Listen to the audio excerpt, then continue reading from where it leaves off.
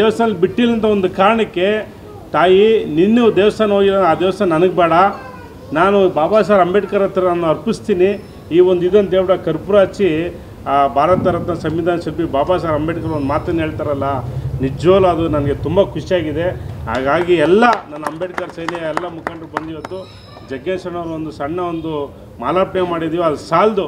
ಯಾಕಂತೇಳಿದ್ರೆ ಇವತ್ತಿನ ದಿನಗಳಲ್ಲಿ ಇವತ್ತು ಎಲ್ಲ ಏನು ಇವತ್ತು ಜಾತಿ, ಅಸ್ಪೃಶ್ಯತೆ, ಮೇಲು ಕೀಳತ್ತೇನಿದೋ ಎಲ್ಲವನ್ನೂ ಒಂದಷ್ಟು ಬದಲಾವಣೆಗಳಾಗಿದೆ. ಇವತ್ತು ಬಾಬಾ ಸಾಹೇಬ್ ಅಂಬೇಡ್ಕರ್ ಕೊಟ್ಟಿರ್ತಕ್ಕಂಥ ಸಂವಿಧಾನನ ಕೆಲವರು ತಗೊಂಡು ರಿಸೀವ್ ಮಾಡಿಕೊಂಡು ಇವತ್ತು ಎಲ್ಲರೂ ಸಮ ಸಮಾನವಾಗಿ ನಡೀತದೆ.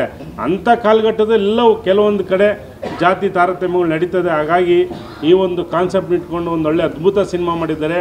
ನಾವೆಲ್ಲ ಭಾರತೀಯರಂತ ತೋರಿಸಿದ್ದಾರೆ ನಮ್ಮ ಜಗ್ಗೇಶನವರು ಈ ಸಿನಿಮಾ ಮುಖಾಂತರ ಇಲ್ಲಿ ಯಾವುದೂ ಜಾತಿ ಇಲ್ಲ, ಭಾಷೆ ಇಲ್ಲ, ನಾವೆಲ್ಲ ಒಂದು ಮಕ್ಕಳಿದ್ದಂಗೆ ಭಾರತೀಯರು ನಾವು ಕನ್ನಡಿಗರು, ಆಯಿತಾ? ಹಾಗಾಗಿ ಮತ್ತು ಇನ್ನೊಂದು ವಿಶೇಷ ಏನಪ್ಪ ಅಂತ ಹೇಳಿದ್ರೆ ನಾವೆಲ್ಲ ನೋಡ್ಕೊಂಡು ಬಂದಿದ್ದೀವಿ.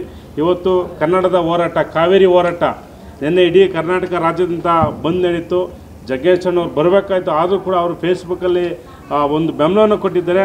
ಇವತ್ತು ನಾವು ಕನ್ನಡಿಗರಿಗೆ ಒಂದು ರೀತಿಯಲ್ಲಿ ಏನು ನಮ್ಮ ಕರ್ನಾಟಕದಲ್ಲಿ ತಲಕಾವೇರಿ ಹುಟ್ಟಂಥ ಕನ್ನಡದ ಒಂದು ಕಾವೇರಿ ನೀರನ್ನ ಇವತ್ತು ನಾವು ತಮಿಳ್ನಾಡಿಗೆ ಕೊಡ್ತಾ ಇದ್ದೀವಿ ನಾವು ಕೊಡೋಕ್ಕೇನು ನಮಗೇನು ಅಭ್ಯಂತರ ಇಲ್ಲ. ಅಂದರೆ ನಮಗೆ ಕುಡಿಯೋಕ್ಕೆ ನೀರಿಲ್ಲ. ನಮ್ಮ ರೈತರಿಗೆ ನೀರಿಲ್ಲ.